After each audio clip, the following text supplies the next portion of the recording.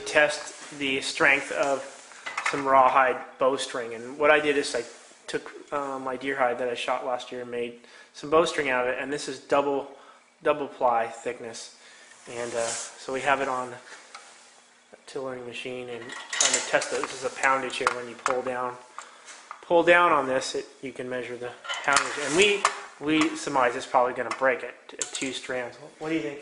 Well, the thing is, is we pulled it end, end to end, which would be a tensile strength, and we pulled it to what, 40 pounds? Mm-hmm. And what we're realizing is, is that uh, being the, the bowstring pinching at that, at that midpoint of the string, I think we have a different load. I think we're magnifying the load more than the 40 pound tensile strength. So we're going to give her, you know, it worked to 30. So what's our bow? Our bow is what 30. The 30 bow, the bow itself has a 30 pound draw, Right. and we pulled the string end to end, which would be a stretching strength or a tensile strength Right. to 30 or 40 pounds. And so if it breaks, we know we have more of an actual load um, on a bowstring than what your poundage of your bow can Right. So we're surmising that you're going to have to. What's happening with the string is, as it's stretching on this machine, we're putting it on. It's actually getting smaller and smaller. So in order to to make a decent decent bowstring that's going to be the correct size to, to nock an arrow, we're probably going to have to, you know, to not be too big. It's going to have to be at least three strands of, of deer hide. And- I think I cut this, the the spiral at eight at eight inch, you know, an eighth to well, a little less than a quarter of, of the, when I was cutting out the spiral for this trans. So it's going to have to be at least three. But we're going to test it out. So here we're going to go start pulling on it and see what happens. We think it's going to break. So. Can you read it from there? 15, yeah. Okay, 15. Just kind of call it out as we go. 15, 20, 25.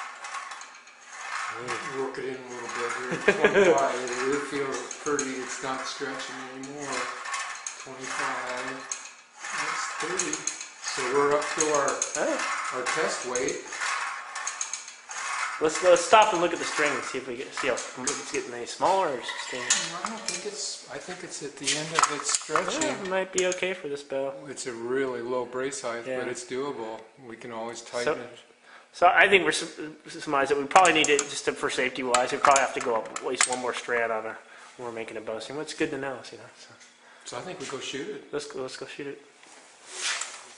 So this is the Oregon ash bow with the uh, rawhide string first shot here.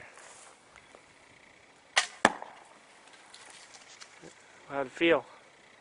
Um, I think, I think, I think we got all the stretch out of it. the string Alright, feels like all everything's coming in the in the bow. Sounded good. It's getting more. Uh, faster arrow, getting more of the bow, less you know. Really? Less. Yeah. Huh. We're down to about two inches of two inches of brace height. We probably shouldn't go much lower than that. The back slap on those limbs. So we have to restring it then? Yeah, I think we try one more shot and we'll restring Alright. it. Oh. It we had to break.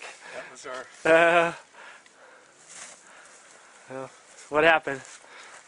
So there you go. It just keeps getting shorter and Stre- shorter and shorter. So So, they stretches and stretches and